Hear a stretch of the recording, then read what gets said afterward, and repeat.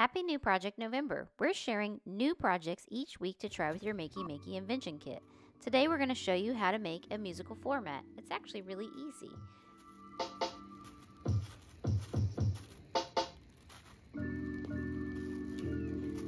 We're repurposing some styrofoam for our floor mat, but you could use a yoga mat or a large piece of cardboard.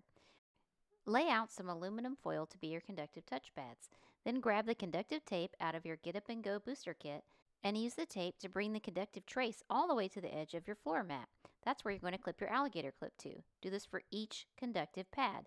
You might want to use some duct tape to add some sturdiness to your floor mat. Plug an alligator clip from each pad to a key press on your Makey Makey and go to makeymakey.com slash sampler. Now you're ready to play music with your feet.